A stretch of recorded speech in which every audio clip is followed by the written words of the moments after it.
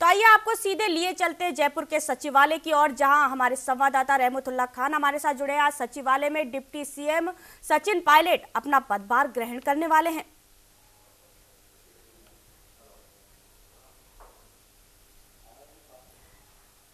रहमतुल्ला जी, आपसे जानना चाहेंगे कि डिप्टी सीएम सचिन पायलट आज अपना पदभार ग्रहण करेंगे। क्या तैयारियाँ की गई हैं इसको लेकर? देखिए, सचिवालय के मुख्य जो भवन है, उसके प्रथम फ़र्स्ट फ्लोर पर जो ओल्ड सी एम है, वहाँ जहाँ पर सचिन पायलट को जो है कक्ष अलॉट अलॉट हुआ है और यहीं पर सचिव जो है सचिन पायलट, उप मुख्यमंत्री सचिन पायलट कुछ ही देर में सचिवालय पहुँचेंगे और यहाँ पर अपना पदभार ग्रहण करेंगे। ये कुछ तस्वीरें इन, तस्वीरों में हम दिखाना चाहेंगे। चैम्बर में अपना जो है कुछ देर बाद यहाँ पर पहुँचेगा और अपना अपना पदभार संभालेंगे। सचिन पायलट डिप्टी सीएम के रूप में यहाँ पर अपना पदभार संभालेंगे। इकतीस सौ चार नंबर जो है, ये यहाँ पर ये चैम्बर इसमें सीधी जो हम दिखाना चाहेंगे सीधे अंदर की तस्वीरें दिखाना चाहेंगे।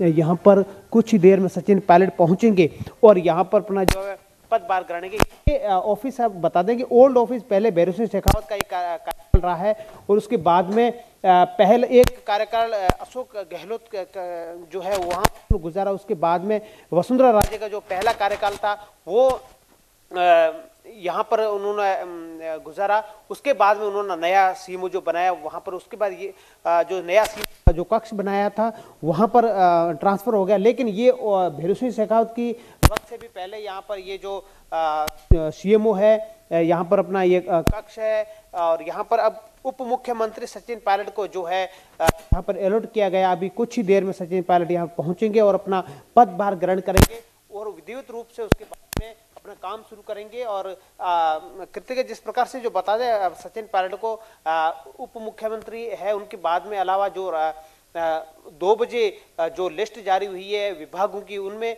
भी सचिन पायलट को जो जो विभाग है जो भी बांटे गए हैं। तो इस प्रकार बताया जाओ कृतिका ये सचिन पायलट उप मुख्यमंत्री प्रदेश अध्यक्ष और उप मुख्यमंत्री के रूप में अब अपना जो है पदभार संभालेंगे। कुछ ही देर में यहाँ पर पहुँचेंगे। इसी ऑफ़िस में भैरव सिंह शेखावत ने अपना कार्यकाल पूरा किया और एक कार्यकाल जो है जो है अशोक गहलोत का रहा उसके बाद में एक कार्यकाल यहाँ पर जो है वसुंधरा राज्य का रहा उसके बाद में जो है नया सीएमओ वो जो है चेंज करवाया है। तो ये जो तस्वीर है दर्शकों को सीधी दिखा रहे थे, ये चैम्बर के अंदर की तस्वीर थी और ये, यहाँ पर जो मुख्य बिल्डिंग है, उसका फ़र्स्ट फ्लोर है। फ़र्स्ट फ्लोर के फ़र्स्ट फ्लोर पर जिस प्रकार से जो है, यहाँ पर उनको चैम्बर दिया गया है। इकतीस नंबर है। जी। जी रहमतुल्ला आपसे जानना चाहेंगे सचिन पायलट को पाँच विभाग भी दिए गए हैं। आज उसको लेकर क्या सचिन पायलट कोई मीटिंग भी करेंगे?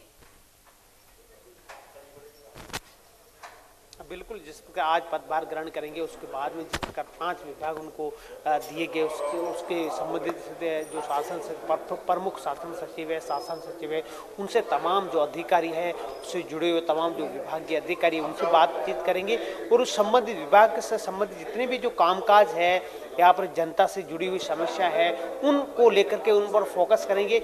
आ, वो अब जैसे आज जो है विभाग दिया गया आज अपना पदभार ग्रहण शुरू पदभार संभालेंगे। उसके बाद में तुरंत वो विधिवत रूप से अपनी जो है काम जारी रखेंगे। और संबंधित जितने भी इनके प्रमुख शासन सचिव है सचिव है, जितने भी अधिकारी है, उन अधिकारियों से बातचीत करेंगे, उन अधिकारियों से चर्चा करेंगे, उन विभागीय संबंधित समस्या है काम काज को लेकर पहले समझेंगे, उसके बाद में जो है ये अपना काम शुरू करेंगे। जी, कृतिका। धन्यवाद रहमतुल्ला इस तमाम जानकारी के लिए। तो इस बुलेटिन में फ़िलहाल इतना ही। देश प्रदेश से जुड़ी तमाम खबरों की अपडेट्स के लिए जुड़े रहिए हमारे साथ और देखते रहिए न्यूज़ इंडिया।